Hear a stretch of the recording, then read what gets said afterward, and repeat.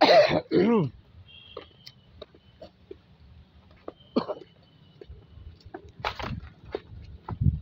hari ini kita lagi jalan-jalan di apa nih hutan jati. Ini hutan jati di mana ini ya namanya? Ini masuknya daerah apa ya daerah Kebumen ya ayah ya. Tapi di bawahnya itu loh tuh laut. Kita ini di atas gunung ya. Nih di atas gunung nih. Tuh hutan jati semua tuh tuh ya. Tuh di bawah itu. Tuh depan sama pegunungan semua tuh nah itu di bawahnya laut tuh. Itu laut itu pantai lo gending tuh kelihatan tuh. Tuh ya tuh bawahnya. Uh, cantik tempat pemandangannya tuh di bawahnya itu pantai daratan pantai selatan. Laut selatan tuh. Tuh tuh muara sungai Logending ya. Muara sungai Logending terus itu laut langsung ke laut itu. Terus ini ada tempat duduknya nih. Nih. Nih, ada tempat kita sebut tempat pantau ya. Tempat untuk mantau nih. Tuh. Tuh di bawah tuh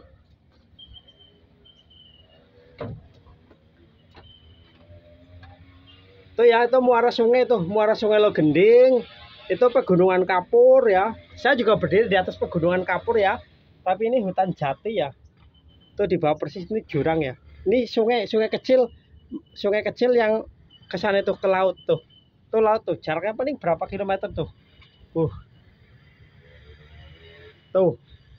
Tuh laut selatan ya itu pantai pantai ayah. Pantai ayah terus sana terus sana ke pantai apa namanya sampai ke Cilacap sana. Ya ini udah masuk Cilacap sih bawah. Itu yang muara sungai itu ya teman-teman. Itu muara sungai itu yang sebelah sini. Nah gimana ya jelasnya?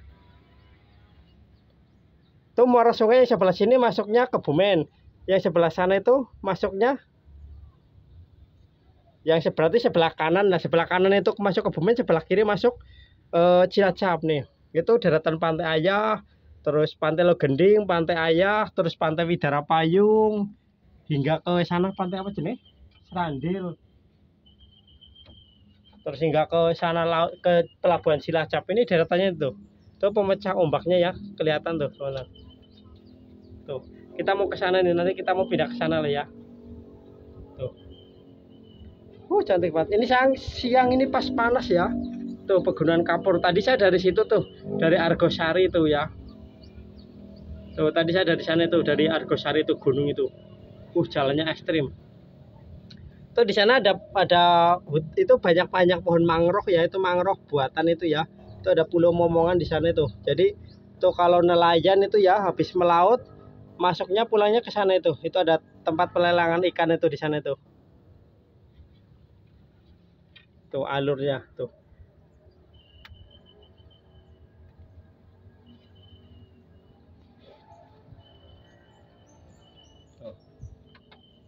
Mbak, nih saya sama istri saya ya. Kelihatan atau enggak?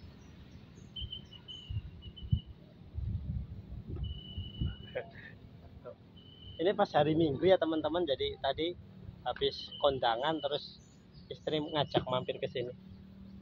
Tuh kita mau ke sana itu ya. Tuh ya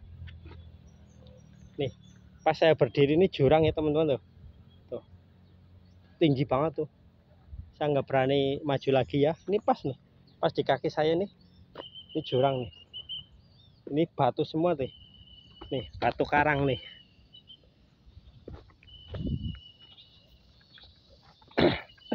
Kita mau ke sana tuh. Ke tempat yang lebih tinggi lagi. Tahu ya tuh.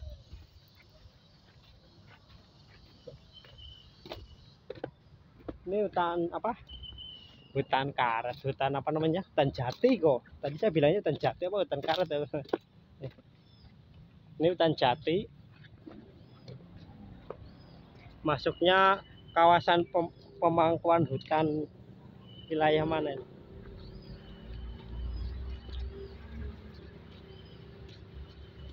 kawasan pemangkuan hutan kedu ini maksudnya. Oh ini kebumen sih ya jadi udah nggak masuk kawasan pemangkuan hutan Banyumas ya. Kalau kawasan KPH Banyumas itu biasanya itu apa yang di Banyumas, Cilacap, Purbalingga. Kita mau ke tempat yang lebih tinggi tuh sana tuh. Itu ada warung warungnya juga. Nanti gampang kita ke situ tuh. Tuh kalau di sana tadi panas ya karena pas itu nggak ada pohon pohonnya ya. Kalau di sini kan adem ya. kita ke sana lagi tuh. Biar ngelihat apa biar ngelihat lautnya pantainya lebih lebih jelas ya. Nih. Ini batu batu karang ya teman-teman deh. Batu karang atau batu kapur nih ya. Batu kapur. Tapi seperti batu karang oh, nih batu-batuan tapi keras bener. Tuh banyak batu-batu tuh ini gunung batu batu kapur. Ini pohon jatinya ya. Pohon jati masuknya kawasan pemangkuan hutan kedu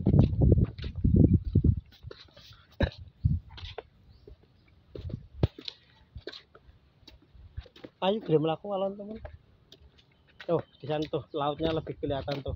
Pemandangannya juga lebih terlihat eksotik tuh tuh gunungnya tuh. Tadi dari sana tuh. Tadi dari sana. Dari Argo apa namanya? Argo Sari ya. Eh? Tadi dari Argo Sari di sana itu. Karena ada nah tuh gunung itu gunung kapur ya itu. Terus muara sungainya itu kelihatan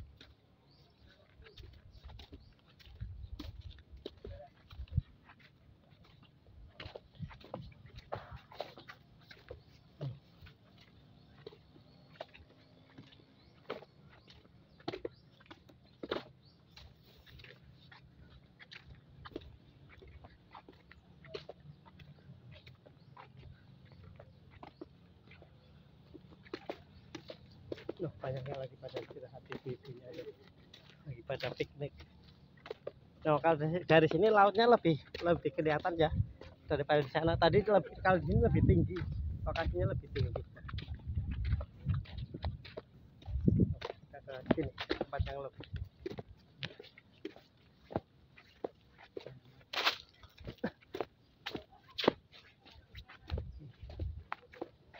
Nah, tuh lautnya tuh kalau ini lagi naik kayaknya lagi anu air lautnya. Nah, kita ke situ yang lebih tinggi biar jelas. Tuh tapi udah. Tuh ya. Tuh kelihatan ya. Biru.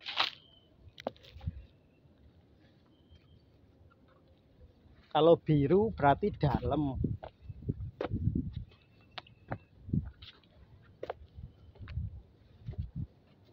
kalau hitam berarti bawahnya jurang laut padung laut.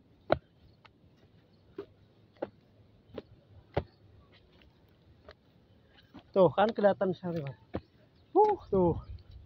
Nih saya udah di atas laut nih. Uh tuh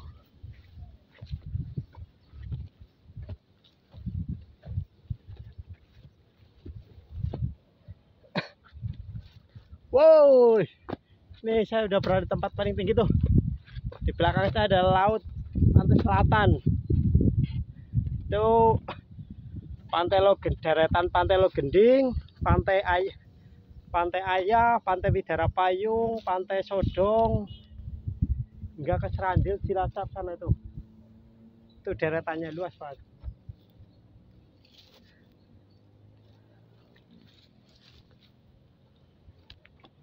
Kita ke sini coba ya.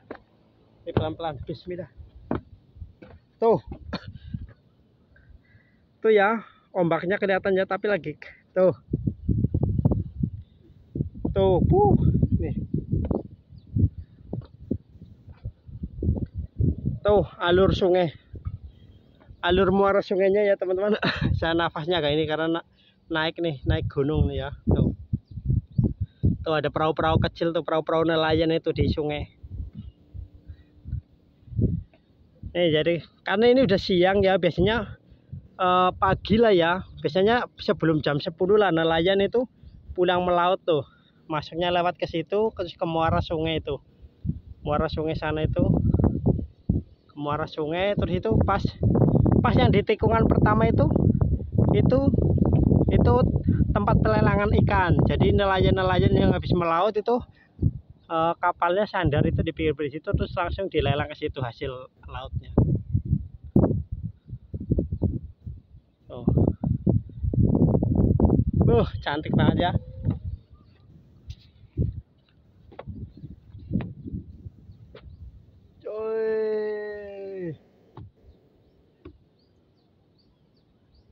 Salam damai negeriku. Dari puncak Gunung Kapur di Kebumen. Di dekat muara Sungai Logending. Terima kasih, salam berbagi, salam damai negeriku. Bye-bye.